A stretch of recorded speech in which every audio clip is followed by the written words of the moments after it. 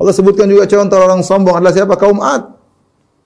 Fa amma 'adun fastakbaru fil ardi bighairil haqqi wa qalu man ashaddu minna quwwah. Awalam yarau anna Allah alladhi khalaqahum huwa ashaddu minhum quwwah. Adapun kaum Ad, kata Allah Subhanahu wa taala, fastakbaru fil ard.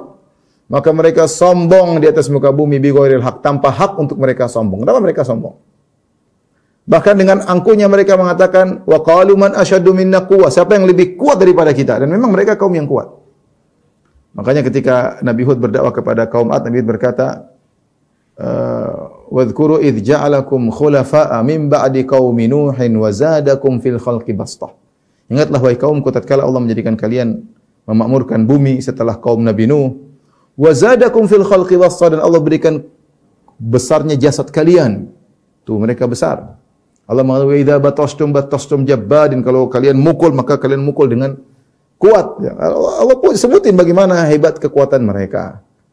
Ya, siapa yang lebih kuat daripada daripada kami? Lihat sombong dengan kekuatannya, sombong dengan fisiknya, pamer otot ya. Kalau, kalau, kalau bicara otot orang kaum Ad yang paling yang paling hebat. Tapi bagaimana nasib mereka? Allah hinakan mereka dengan siksaan yang sangat menghinakan mereka. Cuma kirim angin. Allah cuma kirim udara. Allah tidak kirim besi kemudian hantam mereka. Allah tidak keluarkan lava dan larva dan lahar dari gunung kemudian menghantam mereka. Ya. Allah tidak angkat gunung kemudian menimpakan mereka. Tidak, ya. Allah tidak mengirim api membakar mereka. Allah tidak kirimkan halilintar untuk menghantam mereka. Allah tidak jantukan meteor untuk hancurkan mereka. Enggak. Allah tidak kirim singa untuk makan mereka.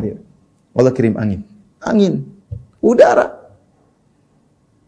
Ya benda yang sangat halus, yang tidak kelihatan angin.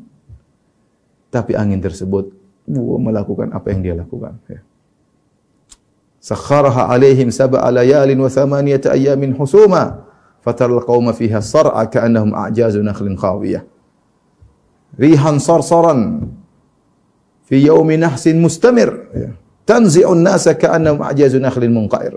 Allah kirimkan angin yang sangat kencang, maka diangkatlah kaum Ad tujuh siang, delapan malam, ya. Tujuh, tujuh malam uh, dan delapan siang, ya. Itu tujuh hari tujuh malam, ya. Diangkat.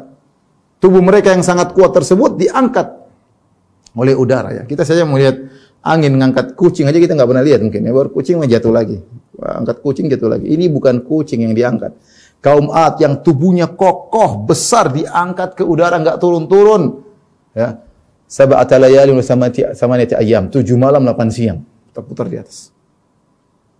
Saking kencangnya angin-angin tersebut terputar sampai lepaslah usus mereka keluar dari mulut mereka, keluar dari dubur mereka. Jadilah tubuh mereka kosong. Ka'annahum ajazun nakhlin munqair kata Allah seperti batang korma yang enggak ada isinya.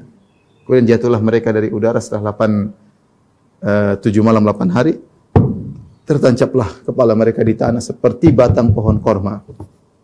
Lihat akhirnya orang sombong. Badan sombong angkuh cuma dihabisi dengan angin. Allah kirim angin selesai. Ya. Inilah kaum kaum Ad. Adapun kaum Samud ya. Qala alladhina istakbaru lilladhina istud'ifu liman amana minhum ata'lamuna anna salihan mursalun min rabbih Qalu inna bima ursila bihi mu'minun. Qala alladhina istakbaru inna billadhi amantum bihi kafirun. Ketika kaum ketika kaum Samud Allah kirim Nabi Saleh kepada mereka, mereka sombong.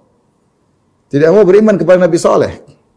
Bahkan mereka mengejek pengikut Nabi Saleh yang miskin-miskin. Kata Allah, qala alladhina istakbaru lilladzina istud'ifu liman amana minhum. Orang sombong dari kaum Samud ngomong sama orang Samud yang miskin-miskin. Ngejek, ata'lamuna anna salihan mursalun mir rabbih. Kalian tahu apa Saleh diutus sama Tuhannya? Ngejek ini ngejek. Saleh, Saleh itu diutus sama Allah ya? Iya. Ya. Qala alladziina qalu inna billadzi ursila bihi mu'minun. Kata orang yang miskin tadi, orang lemah, ya kami beriman dengan apa yang diutus kepada Nabi Saleh. Dengan sombongnya mereka mengatakan, "Qala alladziina istakbaru inna billadzi amantum bihi kafirun." Adapun kami, kami justru kafir kepada yang kalian imani. Sombong. Saking sombongnya mereka akhirnya ketika Allah kirimkan naqatullah yaitu onta Allah yang luar biasa sesuai dengan permintaan mereka, onta yang ajaib, yang menakjubkan dan dan Nabi sallallahu sudah mengatakan Hadhihi naqatullahi lakum ayah, fadharuha ta'kul fi ardillah wa la tamassuha bisu'in fayakhudhakum fayakhudhakum adzabun qarib. Hati-hati ini adalah unta Allah. Biarkan dia makan dari di atas muka bumi Allah, terserah makan di mana. Jangan ganggu sama sekali, jangan dihadang, jangan diganggu. Apalagi dibunuh tidak boleh. Kalau kalian nekat, kalian akan ditimpa dengan azab yang pedih. Fa'atau an amri rabbihim. Sombong mereka atau sombong. Akhirnya mereka bunuh itu ontanya Allah Subhanahu wa taala. Mereka bunuh nekat. Ya. Ketika mereka bunuh, akhirnya kata Nabi saleh tamatta'u fi darikum thalathata ayyam. Silahkan kalian senang-senang tiga hari, habis itu akan datang azab. Dan akhirnya benar, kesombongan tersebut buat mereka akhirnya binasa. Setelah tiga hari, kemudian datang azab berupa suara yang sangat keras, ya, gempa yang sangat keras, mereka tewas dengan suara, dengan geledeknya. Nggak kuat tubuh mereka. Padahal mereka begitu hebat bisa mahat gunung jadi rumah, ya. Tetapi kemudian binasa dengan hanya suara memekikkan telinga muat mereka mati ya. Kita aja kalau dengar geledek ya pengaruh ya mas, uh mengerikan. Tapi tidak tidak sampai mati ya. Mereka Suara yang entah besar kayak apa buat mereka langsung tewas.